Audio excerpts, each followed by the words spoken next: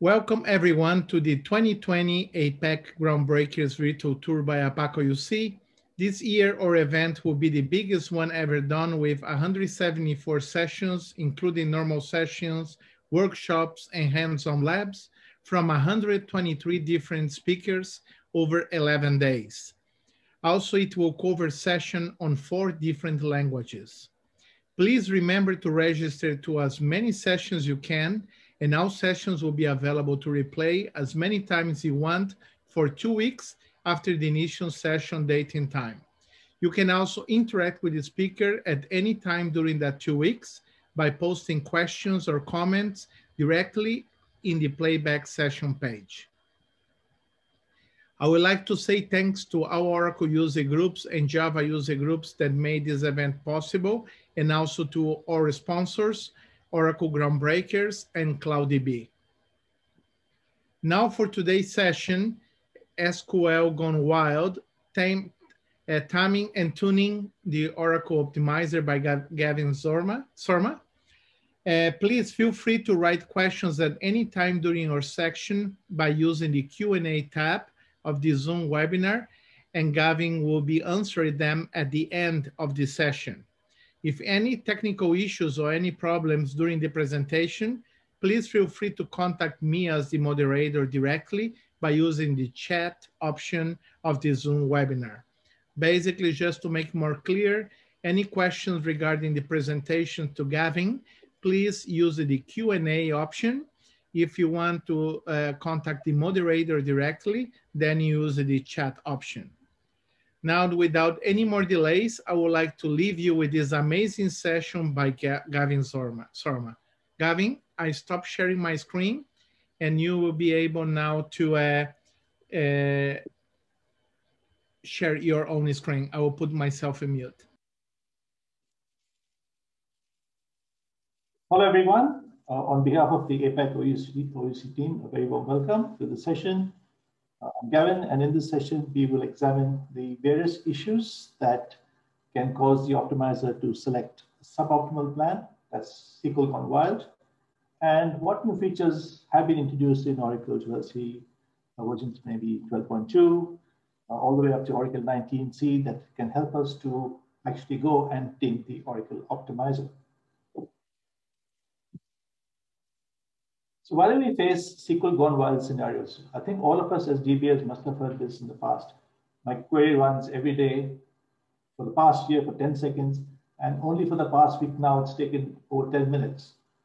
And I would say in one simple line, most probably the query is performing badly now. I'll say again, most probably, emphasizing that, is because the execution plan has changed. You ask the DBA, he would normally say nothing has changed in the database, you ask the developer, he said, I've not changed the code, but end of the day, my user really doesn't care.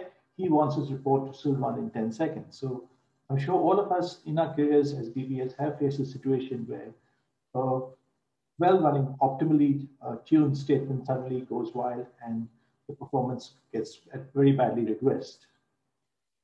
So why do we actually face this SQL gone wild? And here are some answers of it. So this is not comprehensive. So Statistics, end of the day, is food for the optimizer. So if our statistics are missing or they are stale, then it can affect the way the optimizer will select an execution plan. By default, statistics are gathered automatically in what is called a maintenance window. And many cases, that maintenance window may not be adequate for a very large database with huge tables. So what happens when the maintenance window closes? Maybe out of 1,000 tables, only 500 have been analyzed. So possibly 500 tables have missing or stale statistics. Uh, there could be also a case where some indexes are missing, or the converse of that is where we have too many indexes on the table because people keep adding indexes in an ad hoc manner to tune a, a particular query and then forget about such indexes. These indexes remain, and the presence of so many indexes not only slows down your DML, but when you have multiple indexes that the optimizer needs to choose from, it can sometimes make the wrong choice. Having skewed data, when my data is not properly distributed, it is more skewed towards certain values, can also cause us to have issues in, uh, in our integration plans. That at least we have a tool called histograms. Uh, By default, out of the box, the database is geared for optimization with the parameter called all underscore rows. That means by default, the Oracle database is optimized for best throughput as opposed to best response time. And this setting may not be uh, may not be good for other applications like OLTP applications. So we need to also know what is our optimization goal. Are we tuning our database for best response time or are we tuning it for maximum throughput? Sometimes as developers, we put in hints and we want to know why are these hints being ignored? Because I put in a hint to force a particular index, but I don't know why the index is not being used and my query is still performing badly. So we'll see there's a very good feature now in Oracle 19c that can help us to overcome this particular problem.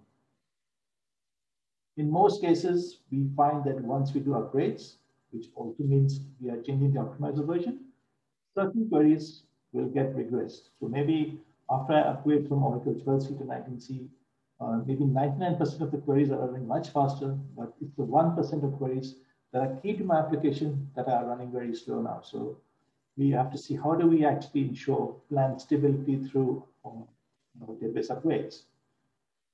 End of the day, I have to load my SQL statements into what is called the library cache, the area in memory. So ideally, I want to parse once and execute many times. So that should be a very key performance tuning goal. Parse once and execute many times. Because the parsing phase is the most uh, resource intensive phase of the execution of a SQL statement. So here it's where the the execution plan is actually drawn up by the optimizer in what is called the parse phase.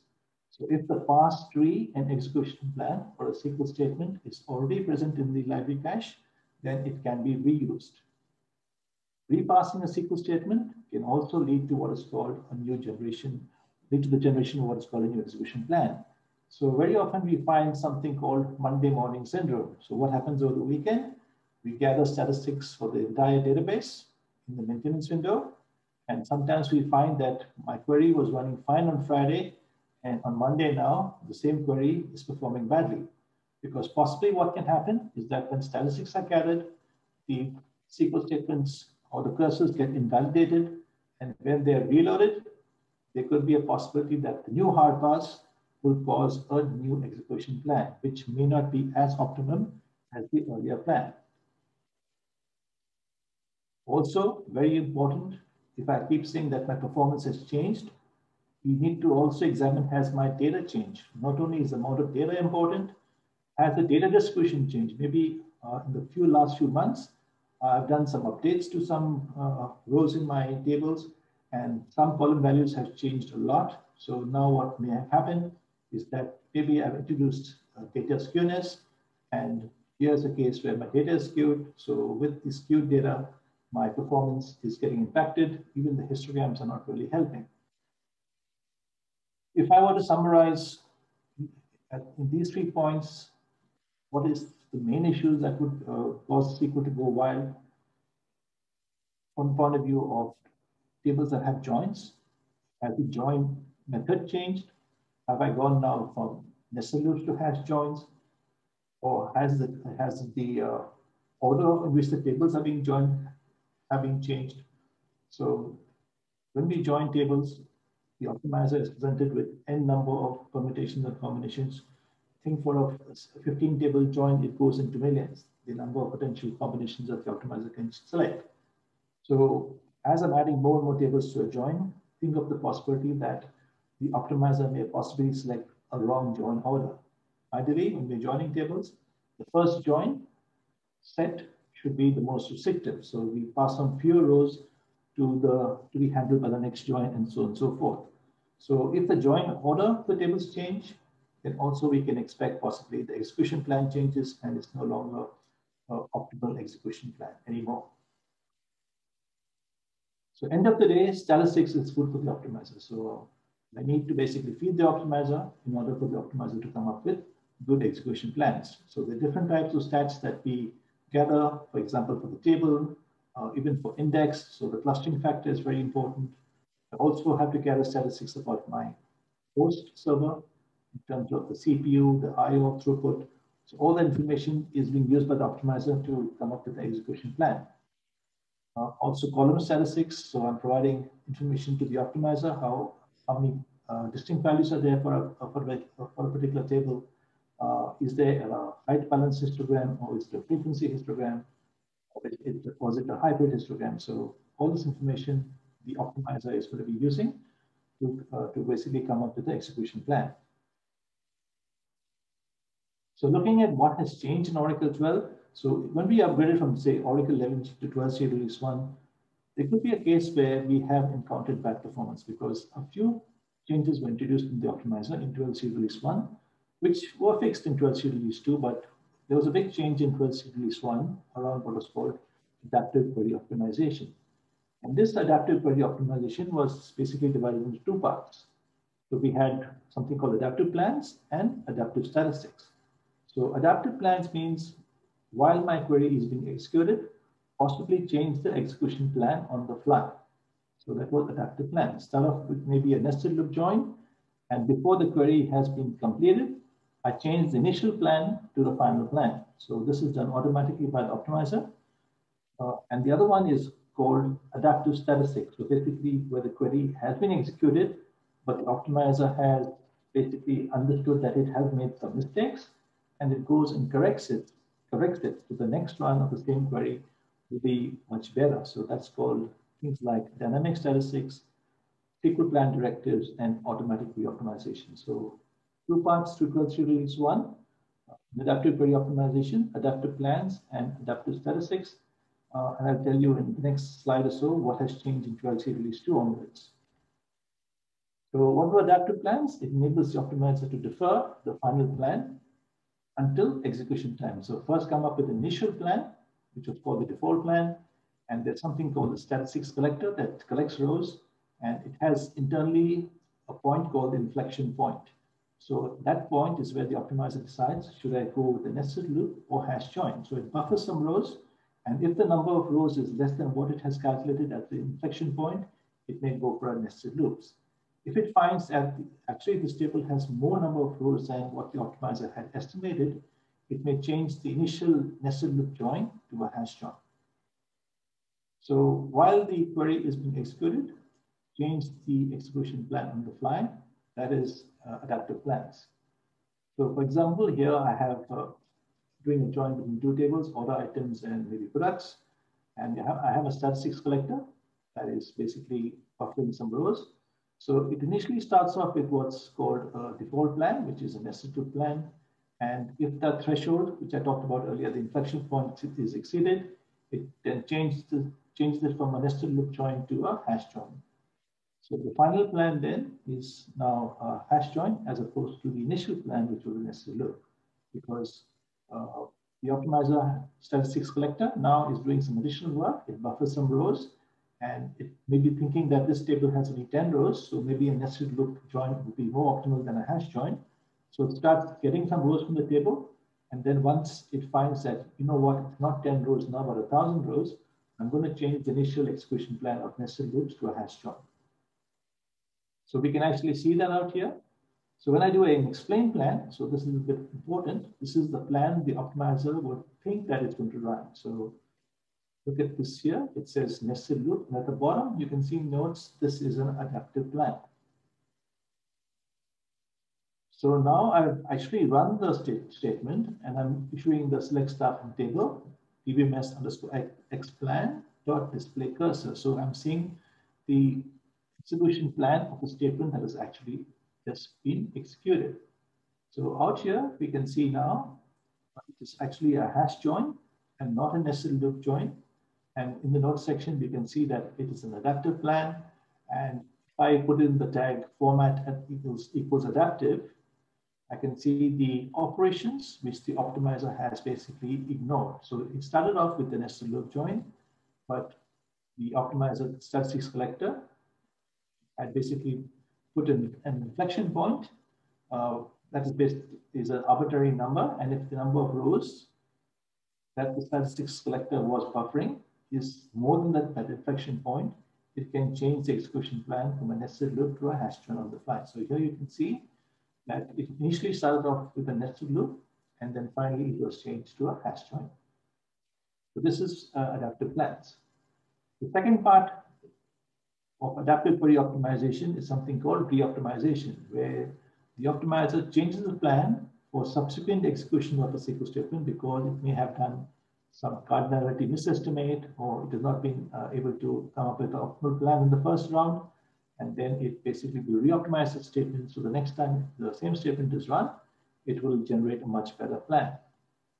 So the optimizer uses the information gathered from the previous execution to come up with a better alternative plan.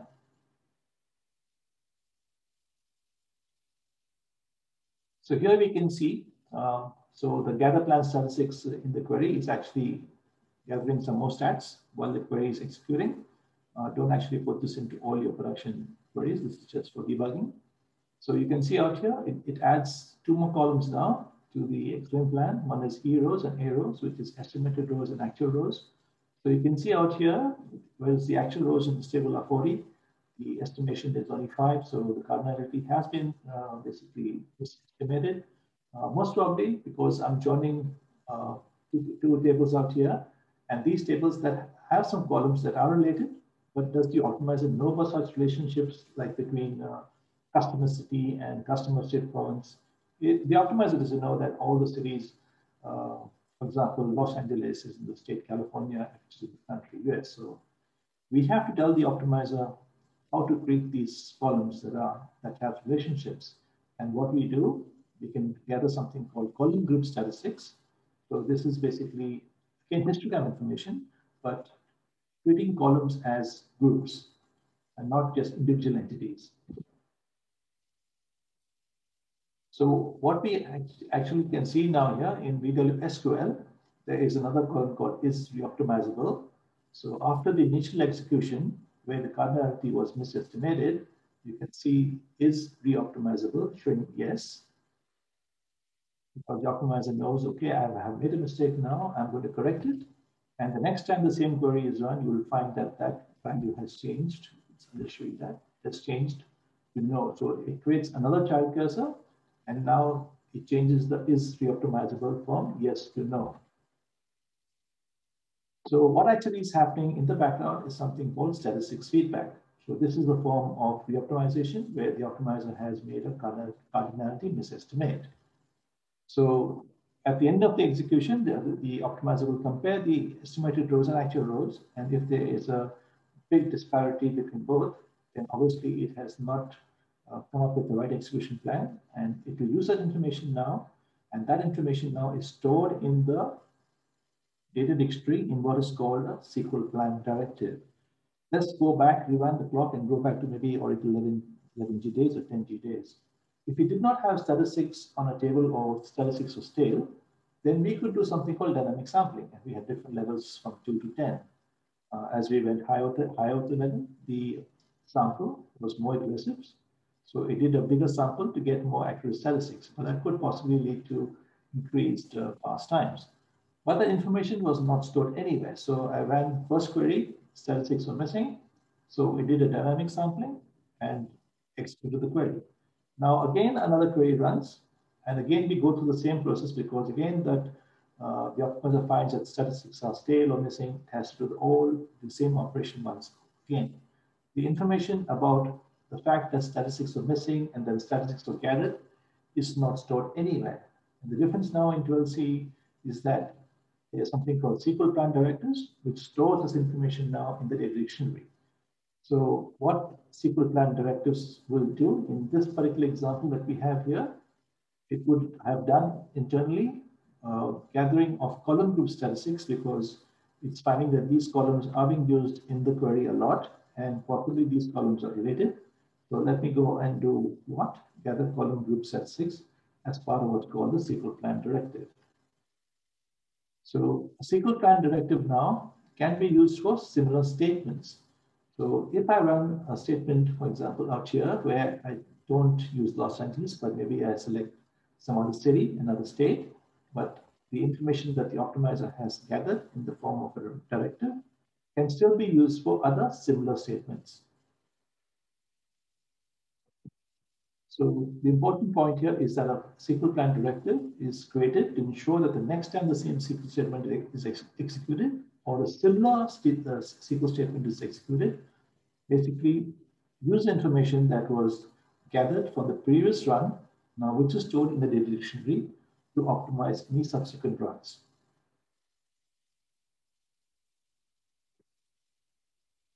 So you can see out here, when the query is run the second time, the estimated rows and actual rows now are spot on. And you can see at the bottom in the notes section, uh, statistics feedback has been used for this particular statement. And now the reoptimizable has changed from yes to no. So we had something called dynamic sampling earlier. Uh, now in 12c, it's called dynamic statistics. So there's a new level called level 11 that's been added. And that level 11 can go and gather additional statistics which the optimizer needs, even if, even if there are statistics on the table. So if it finds, yes, there are statistics, but these statistics are not adequate, as in the previous example, I had to gather additional statistics on two columns or the column group.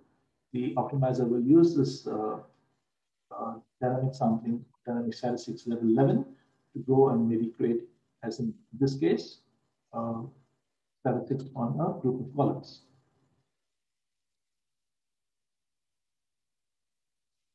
So two points to keep in mind. The uh, SQL plan directives now is new in Oracle 12c number, and it has information that is stored in the data dictionary, and it's part of what's called the uh, adaptive statistics or the re-optimization of SQL statements, where the optimizer learns from previous runs uh, where it is may, may have possibly made a cardinality misestimate. So early on in um, Oracle 12c1, release one, we only had one parameter called optimize adaptive features. Uh, the difference here was adaptive plans and uh, adaptive statistics.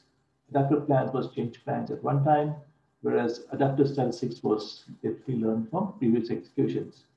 But the, the issue was that this was all right for maybe DSS systems or data warehouses where I don't mind spending more time for first parse because the optimizer now has to gather some more information as part of the adaptive statistics phase.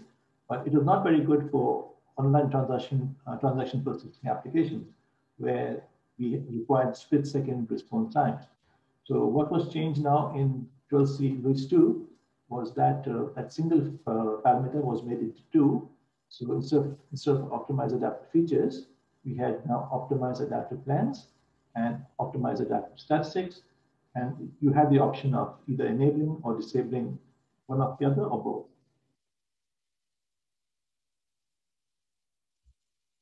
So let's have a look at some new stuff that was introduced in Oracle 19.3 and what are the new features that enables us to actually tackle the optimizer and overcome those cases where SQL has gone wild. So let's look at some of the features that came about in Oracle 19. So one of them was uh, the SQL quarantine feature. So we, we had resource manager for a long time, different versions of Oracle all the way back to eight and nine, had resource manager. And what we could do with resource manager was basically terminate any long statements. But there was no way of us ensuring that the same statement would not be run again and again and again. Okay, fine. I have put a, a maximum limit, but what's going to happen? The statement will run until it reaches the threshold that has been set by resource manager. Maybe the same statement is, is executed thousand times. So it's executed thousand times and thousand times the resource manager will stop it. So what is actually added now is a, is a functionality or a feature called SQL quarantine, where if you have resource manager saying that this statement is running too long, what you can do then is go and quarantine that. Okay, so the you're basically quarantine, putting a quarantine on the execution plan. Okay, very important. You put a quarantine on the execution plan and not the SQL statement itself. So until the plan has changed, then how can the plan be changed? Maybe by you've added a new index or you've optimized the query. So the execution plan has changed now and the query is running much faster, then the quarantine will basically be lifted. So the difference now here is resource manager is still there, it kicks in, but now what it does is that I can have a SQL quarantine as well. So I will use a package, I think that is an example in the next few slides. And now the costly statement runs only once before it is quarantined. So what, what is being done here by Oracle internally? It, it places the SQL statement or the SQL ID now or the plan hash value on a blacklist list of plans that the database will not execute. So the package we use out is, is dbms underscore underscore SQLQ. And there is now a new column in VW called SQL quarantine where we can see uh, is this statement being prevented from running? So if we find that this value is going very high, then obviously there is a statement that is being run by my application, but because of resource manager and the quarantine, that statement uh, is not being executed. So obviously I need to go and do something about it and fix it. So I'm going to go quickly through an example of this. So you can see out here, I've, I've basically using resource manager uh, and I've set a time limit of 20 seconds uh, for for a query to run. Uh, and if basically the, the threshold is uh, passed, then we'll go and cancel the SQL session, SQL test. So here at bottom, you can see that it ran for just close to 20 seconds, and now the statement has been aborted. So what I can do now, I can identify the SQL ID, and what best practice is to add the plan hash value as well, which is not shown here. So I can create a quarantine by SQL ID and add also the plan hash value to it. And now what's going to happen is that when I run the statement again, so it will not wait for 20 seconds. So it will not wait for resource manager to come and stop it. It, because it has been quarantined, it, it will be prevented from executing even once. So look at uh, VWSQL, and I can see avoided executions for that particular SQL ID, and the avoided executions are, are one. I can go and drop the quarantine or I can disable the quarantine. And basically what it means out here is that until I go and have a different uh, plan hash value enabled for that particular SQL ID, the quarantine is still going to get enforced. So the plan is quarantined and not the SQL statement itself. So if I went and changed the SQL statement here, select star from demo.my objects where owner is equal maybe sys to system, and it is still doing the full table scan, the plan hash value is exactly the same, then even another statement that has the same plan hash value for that SQL ID, okay, would be prevented from being run. Let's move on to the next feature, which is called real-time statistics. So what we had in data warehouse environments typically was cases where I loaded data maybe uh, in the night. So I gather statistics maybe at 10 o'clock and these statistics went on to maybe two o'clock in the morning. And then I went and loaded data, and then I truncated tables, and then loaded data again. So what actually has is happening here is that the statistics if I gathered in the night that shows 10 million rows, now actually the table has been truncated and only a million rows have been added. So these statistics that I gathered in the night are basically not really accurate enough because uh, the tables have gone through maybe insert, update, deletes, or truncations, and now the actual number of rows are totally different from what was there when the statistics were gathered. So in Oracle 12c, one of the features was called uh, online statistics gathering, but that was only for two types of SQL statements. One was where you created tables with CTAS, create table select, or you uh, loaded data into the table using the insert with append head. So what has changed now, and this is important, is that in 19c, it also supports gathering of statistics for what are called conventional statements. So when I talk about conventional statements, I mean conventional DML associated with insert, update, and delete. So what actually is being done is that on the fly, some additional statistics are being gathered. So the important thing here is that this does not replace the statistics we gather with DBMS stats. It's just augmenting the statistics. And when I load data, to insert or when I delete data or when I update data, the statistics are also being updated at the same time. So real-time statistics uh, will only augment rather than replace your traditional statistics.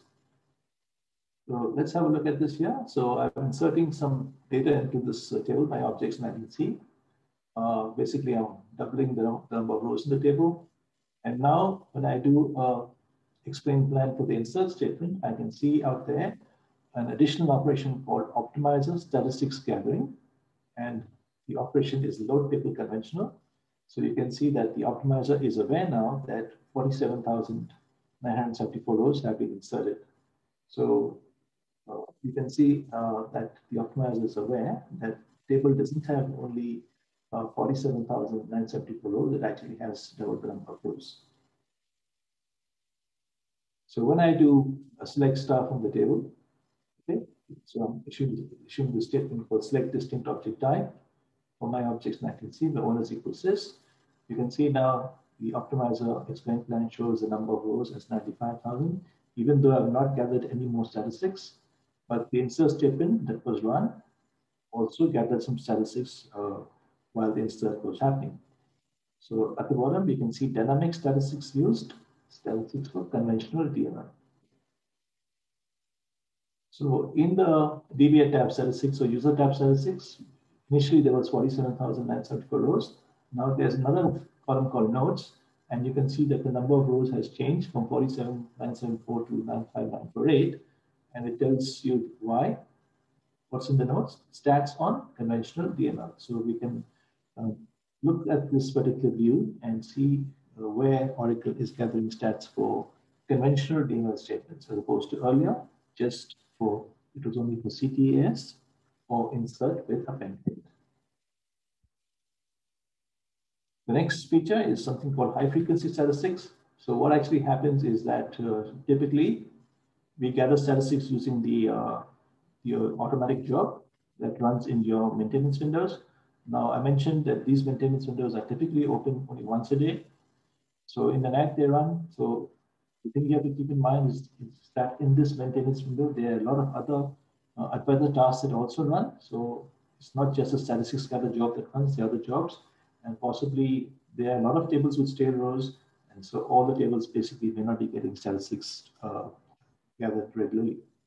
So to again augment, not replace the DBMS stats uh, complete gathering of statistics, you also have something called high frequency automatic statistics, which complements the standard automatic statistics collection job. So it helps in those cases where my tables are very volatile and between two successive runs, which in this case could be typically one day, my statistics go stale because the table is subject to lots of insert, update, delete activity throughout the day. So I gather stats uh, last night. If I don't have this high frequency statistics, I will only gather statistics again tonight. But what's happening in between is that my table is changing a lot and maybe the statistics are not accurate enough because of the update insert activity happening on the table. So the optimizer may possibly come up with a sub-optimal execution plan. So I can use DBMS stats, uh, set the global preferences, and I can maybe change the time now for high frequency statistics to happen every 15 minutes, for example. So not only am I gathering stats once a day, but every 15 minutes, I'm doing what is called lightweight gathering of statistics. So it's not doing a complete gather of stats, but it's doing what's called a lightweight gathering of statistics for tables that are volatile in nature. So initially I can see now this table has stale statistics. So i am using the uh, auto task status, setting it on, changing the interval to 300 seconds. So this means every five minutes, but this is a high frequency task is going to run. So if I look at DBA autostat executions, I can see when my gathering statistics job had actually completed, how long it took, so now I can see here, this is typically the job that ran in my, my normal maintenance windows. But now, because I have enabled this to run every five minutes, I can see here that it's another statistics auto task in progress. And this is your high frequency gathering of statistics, which in this case is being triggered to fire every five minutes. So now if I look at stale stats column, it shows that the statistics is no longer stale because you know, high frequency statistics job has actually happened every five minutes. And table which is volatile in nature, where the data is changing maybe every minute, uh, I'm keeping my statistics up to date for such tables. So this is called the high frequency statistics gathering. Hint usage report, again, another very good feature in Oracle 19c, because the problem we had earlier is that if a hint was in incorrectly defined, or if there was some kind of syntax error, then it typically went undetected. Okay? And we really will be struggling to find out why is that hint not being used and my query is simplifying badly even though I put in some hints. So here you can see that I made a typo. So I'm using the hint called index and uh, I've excluded the uh, uh, character S from the uh, name of the index. So it's a typo. So what's going to happen out here is even though I put the hint in, my execution plan still shows it at the full table scan. But now what I can add is something called format hint underscore report. So that can be added to any of my dbms underscore xplan calls like display or display cursor, for example. And you can see at the bottom, it tells you some more information. Why is your hint being ignored? Because that index specified in the hint does not exist. Or if I make some kind of syntactical error in my hint, again, there is no way that I'll be able to find out that I made some mistake basically deployed a new application. I, I think I put some hints, but my performance is still bad. Nothing has changed and nothing is captured in any trace files or log logs to show you that some hint has been incorrectly defined. So this is a, a wrong uh, use of the use underscore NL hint. So if I use the same dbms underscore xplan display cursor, uh, now I can see that uh, because I'm using hint reports, it's also telling you that there's a syntax error being made and hint has been ignored because there, there is a syntax error. So now you know why it's not doing a nested loop, still doing a hash join or still doing a full table scan because there's a some, some syntax error in my hint. Automatic, uh, automatic indexes, again, Oracle 19c, but I'll be showing you a slide guys at the end. Unfortunately, lots of these features, uh, I'm sorry to say, are only available on Exadata and some of them are cloud, uh, but very few of them are available right now for on-premise. I don't know if things are going to change in Oracle 20, but in Oracle 19c lots of these new features related to Optimizer are only available for cloud and Exadata platforms. Okay, so something not in our hands. So I'll tell you a bit about the automatic indexing. So the problem we have today is that how do we know which index is optimal? Uh, because the index that we have put today may not be optimal after one month because obviously the data changes, the data distribution changes. I may have changed the application in some way. My way my number of users I have have changed. Or there could be so many reasons why indexes which are optimal maybe a few months back or today will possibly not be the same after a few months. So changes in data volumes, changes, changes in data distribution, all this can cause my indexes to become suboptimal or in many cases obsolete. So what we have today is typically more, the DB is very ad hoc. So somebody says uh, a report is running slowly. As DBA go and find out, okay, I need to add an index. For this particular query, you go and add the index. And then what happens, you may forget about the index, or maybe that index which you've added is only helping one query, but it's causing other queries to request because now the optimizer is using this new index for those queries and coming up with a bad plan. So adding new indexes is not a global solution for solving a performance problem. So automatic indexing is uh, a feature that is there in Oracle 19c. It does a number of things for us. It examines your workloads and then goes and creates indexes, rebuilds indexes, also drops indexes that are not required on the fly. So what it does, initially it creates these indexes as uh, what are called invisible indexes then you can actually go and look at the report and it tells you, okay, these are the indexes that I've created. They're right now invisible, but here is the possible performance improvements you can get by using these, these indexes.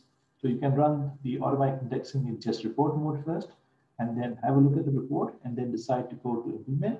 Or you can, if you trust the automatic indexing, you can actually run it directly in implementation mode where it will go and create indexes uh, automatically for you. So if I were to look at the documentation, I put that in italics at the bottom. This is what it states. It's basically an expert system that impacts indexes based on what a performance engineer skill in index tuning would do. So Oracle has built in a lot of uh, intelligence into this uh, into this tool. It's looking at your workload, uh, using machine learning to look at what are the trends, what are the queries, are there indexes that are not required, or are there indexes that are required? So if there's no improvement in some cases, it can also go and drop the index. Okay, so it's doing creation of indexes, rebuilding of indexes, dropping indexes all automatically for us. So here is a case where I'm enabling automatic indexing. You can do it for particular schema, you can do it for the full database, or you can also selectively do it for certain tables. So in this case, I've configured the auto indexing in report only mode first for the demo schema. Then I can specify what, uh, what period of time I want to go and examine. And then you can generate a, a report using DBMS auto index report activity. So it, it goes back into for the last day, for example, here, and it looks in at your workload and it's come up with a report saying, uh, I've come up with uh, a suggestion. I have one index candidate. I've looked at uh, all the workload and this index can possibly optimize 14 SQL statements. Uh, and right now this index has been created as invisible. Uh, you can actually go and test this index out if you like. Can set the session parameter use in the invisible indexes to true and test the application and see really if you can uh, the index is going to make the change as what the automatic indexing tool is suggesting. So it tells you the index and also Gavin? tells you, yes? Sorry, five minutes. Okay, five minutes, cool. So it tells you like, this is the index that is going to be possibly created. And here are the SQL statements that will benefit from this index. The improvement factor for this one, it's a huge improvement. Uh, it also looks at the original explain plans and the new explain plans. So it's telling you why it's also suggesting new indexes because uh, there's a big improvement uh, in the execution plans of these particular SQL IDs. So you can see it tells you the execution plan before the index, the execution plan after the index. You can also configure a particular table space. You can assign a quota. So there's lots of stuff you can do with the tool. So here is where I'm uh, specifying a particular table space. Uh, when, when I run the uh, automatic indexing in, in implementation mode, I'm also specifying where the indexes should get created. So I can see now I've implemented the index and it has been created uh, in the table space that I actually specified. And the index you can see now is a system generated uh, index. It has the prefix system underscore AI and uh, system generated name. So now the execution plan has changed from a full table scan to an index scan. So now, if you run the same report, you can see now, in this case, it has created the index not as invisible, but as visible.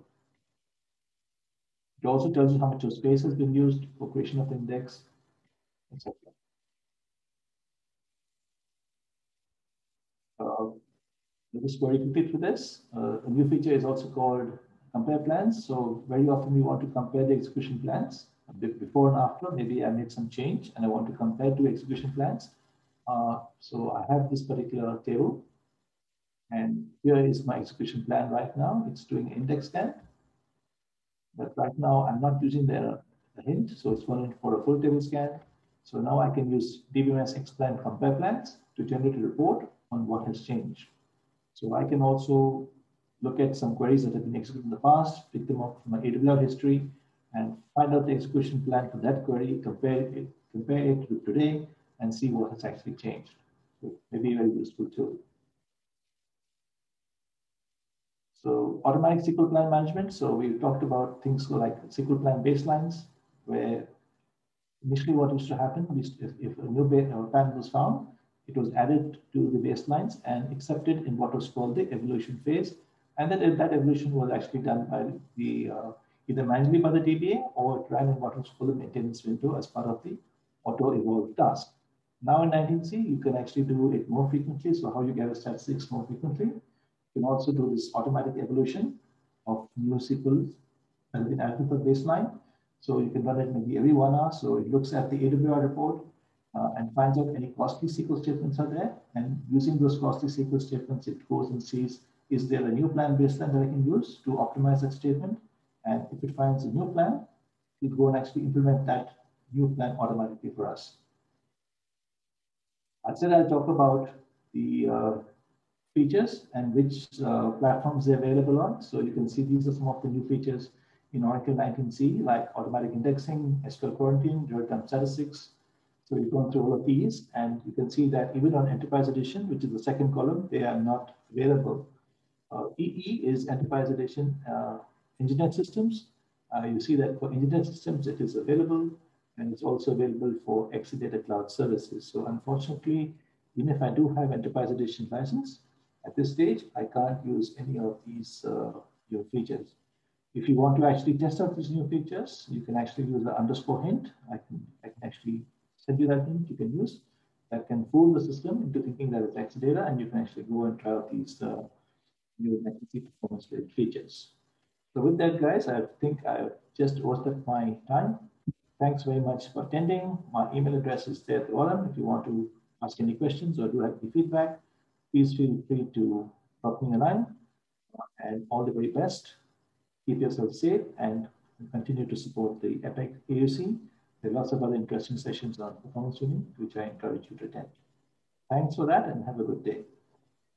Thank you so much, Gavin. Yes, we have no questions to Q&A. That means everyone can watch the replay uh, for the next couple weeks and can also interact with Gavin by his email in the in the screen at the moment or also placing questions directly on the replay uh, uh, page of his session. Thank you so much, everyone. Thanks so much, Gavin. Thank you, Francisco.